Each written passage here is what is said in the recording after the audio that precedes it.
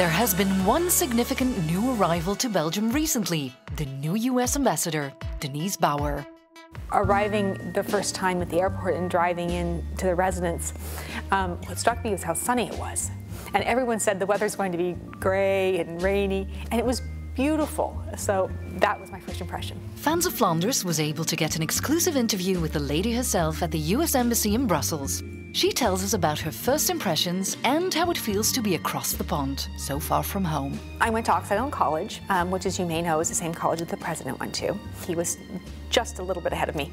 Um, and after I finished college, I was looking for ways to give back or do something good for the country. And um, I believed that journalism was a good way to do that because I believe in informing the democracy. Um, so I went to work in television, which I enjoyed greatly, worked in television news for a long time. And after I had children, I tried to localize and simplify a bit, and I worked on community projects and um, community issues. I genuinely like people, and they're always people jobs. And, and if they're jobs working with people and, and cooperating and working towards a goal, I enjoy them greatly. So I think that you would say was true with each of my jobs.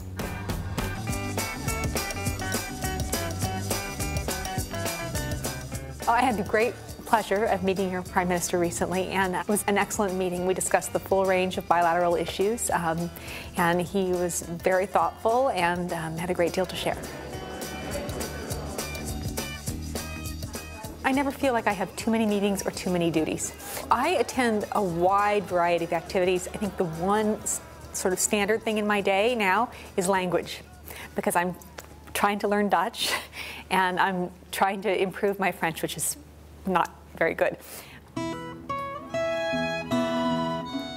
I think that work-life balance is a challenge for most people. Actually, in this job, it's a pretty easy balance to find for me because um, I can bring my family with me so much of the time or engage them in different activities that we're doing.